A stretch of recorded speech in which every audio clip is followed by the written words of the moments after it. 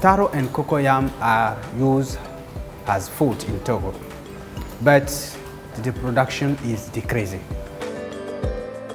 My name is Bammite Damigou from Togo. I'm a researcher and a One Planet Fellowship Laureate. I've come to find out why in Togo we don't have enough cocoyam and taro. One of the major problems we have with taro production is a disease called taro leaf blight. I'm collaborating with the Crop Research Institute to see how we can find a solution for our farmers. The first step was to collect across the country all the cultivated varieties. We introduced in vitro all the varieties grown in Togo.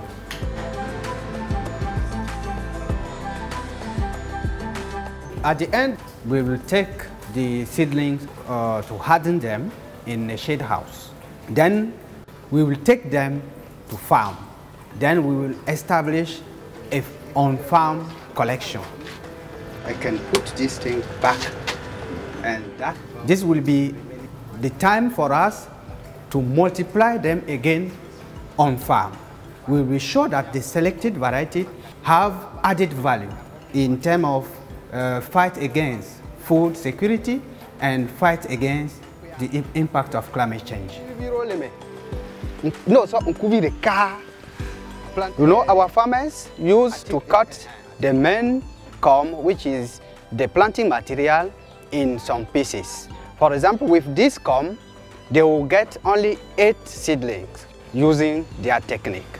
But with the technique I'm bringing to them, with only this corm, they can generate up to 100 seedlings.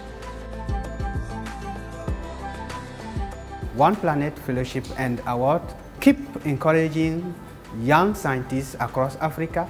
This will contribute to build a better Africa tomorrow. I want to thank a lot Award and One Planet Fellowship because through this program, um, today I am a changed person.